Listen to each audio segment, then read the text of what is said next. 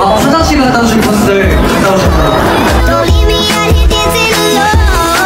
혼자 뭐 하세요?